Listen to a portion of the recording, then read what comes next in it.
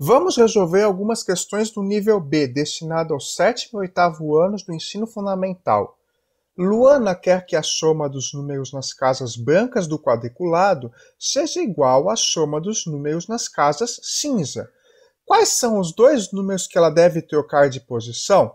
Vamos primeiramente entender esse tabuleiro aqui, ver quais números estão de cinza e quais estão de branco. De cinza aqui eu tenho, olha, o 1, aqui o 7, o 4, o 6 e o 2. A soma de todos esses números aqui corresponde a 1 mais 7, 8, 8 mais 4, 12, 12 mais 6, 18 e 18 mais 2, 20. Agora, nos quadrados brancos, a soma vai ser qual? Temos os números 3, o número 5, o 8, o 11 e, finalmente, o 13. A soma de todos eles corresponde a 3 mais 5, 8, 8 mais 8, 16, 16 mais 11, 27, 27 mais 13, 40. Nós precisamos trocar de posição dois números aqui, de modo que as somas sejam iguais. Agora observe o seguinte, vamos supor que eu vou tirar um número aqui e vou adicionar um, e trocar de posição com outro. O que acontece? Se eu adicionar, por exemplo, tirar esse 2 daqui e adicionar, digamos, o 13, por exemplo, o que vai acontecer?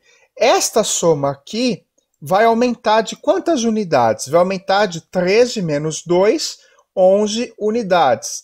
E esta soma aqui, se eu substituir o 2 por 13, ela vai diminuir de 11 unidades.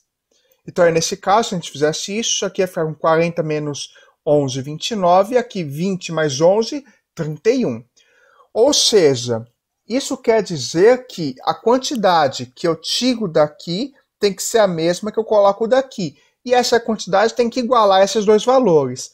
Se essa quantidade for um valor x qualquer, nós acabamos de descobrir que a quantidade que eu tiro, que eu somo aqui, ou seja, 20 mais essa quantidade x, tem que corresponder exatamente à quantidade 40 tirado esse mesmo valor x. Observe que esse valor x é a diferença entre os dois números trocados.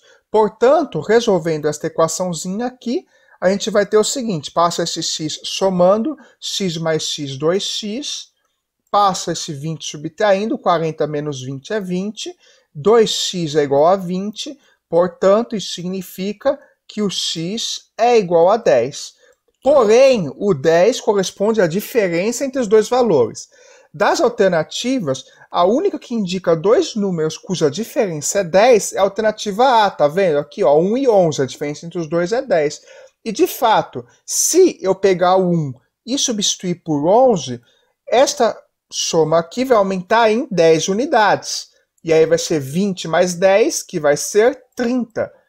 E além disso, nesta outra aqui, o 11 vai virar 1. Então eu vou subtrair 10 unidades do 40, que vai resultar em 30.